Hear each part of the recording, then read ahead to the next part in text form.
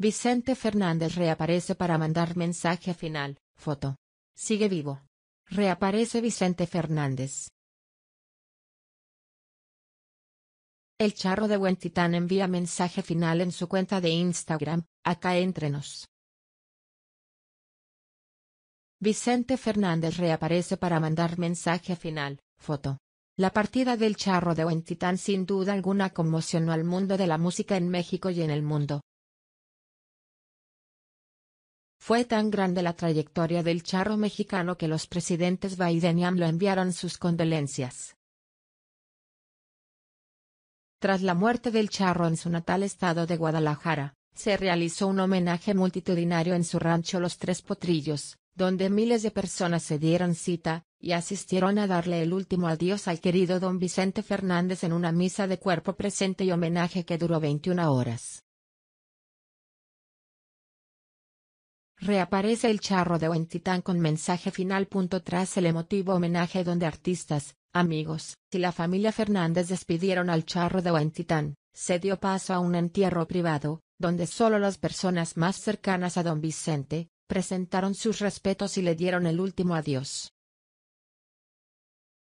Ahora, tras días de intenso dolor para la familia, y una conmoción nacional por su muerte en pleno día de la Virgen de Guadalupe, Vicente Fernández reaparece y envía mensaje final para los millones de seguidores que tiene, y donde se agradece las muestras de cariño.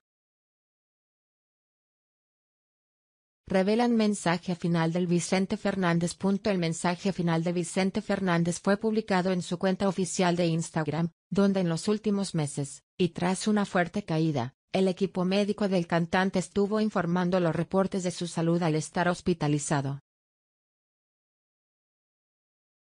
Acá entrenos. Siempre te voy a recordar, se lee en las primeras líneas del mensaje final. El cantante no solo dejó atrás un invaluable legado musical, sino una fortuna económica. Según Celebrity Networks, el legado millonario del artista se debe a las distintas áreas en las que se desempeñó, como cantante, productor y actor mexicano, al hacer presentaciones en escenarios, con las ganancias de sus películas y giras musicales. ¿Qué decía el mensaje final de Vicente Fernández?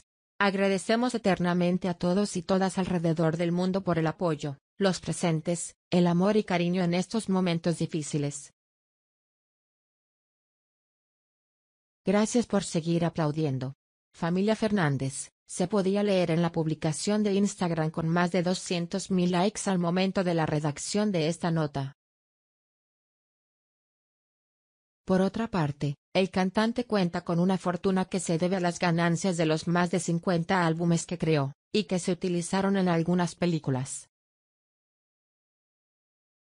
Con su patrimonio, Vicente Fernández también creó la Arena Vicente Fernández Gómez, VFG, señala Agencia Reforma. Pero, ¿realmente cuánto dinero tenía don Vicente? Revelan cuánto dinero tenía don Vicente Fernández. La fortuna del charro de Huentitán, contempla también la arena VFG, la cual fue construida en 2005 con una inversión de 45 millones de pesos, por parte del Grupo Fernández. La propiedad está ubicada en Tlajomulco de Zúñiga, y es usada como un centro de espectáculos con capacidad de 15.000 hasta 40.000 personas. Además, realizó una alianza con Ocesa, empresa dedicada a promover conciertos y espectáculos, señala Agencia Reforma. Sin embargo, Vicente Fernández también destacó como empresario, pues otro de sus negocios fue el de taxis aéreos El Caminante, empresa encargada de rentar aviones Learjets 45, y sus principales clientes han sido artistas. Esta cifra tenía Vicente Fernández pero advierte que aumentó su fortuna. Asimismo, los ingresos constantes para sus herederos provienen de las regalías de sus materiales discográficos. Con tantos años de trayectoria y fama es evidente que el charro de Huentitán, fallecido el pasado 12 de diciembre, acumuló una generosa fortuna, que ahora será repartida entre sus beneficiarios, destaca Agencia El Universal. Entre los que recibirán la multimillonaria suma de 25 millones de dólares están su esposa, hijos y nietos. ¿Cuánto dinero tenía Vicente Fernández? De acuerdo al sitio web Celebrity Networks, Vicente Fernández dejó una fortuna de 25 millones de dólares, lo que equivale actualmente a 529 millones 585 mil pesos, señala Agencia El Universal. El mexicano que se convirtió en tendencia mundial. Esta cantidad no contempla ganancias de regalías y patrocinios, las cuales seguro se dispararon tras su muerte, apunta Agencia El Universal. Google compartió que después de su muerte, el cantante se volvió tendencia de búsqueda a nivel global y las canciones más buscadas fueron, Acá entre nos, Mujeres Divinas, La Diferencia, Perdón y estos celos.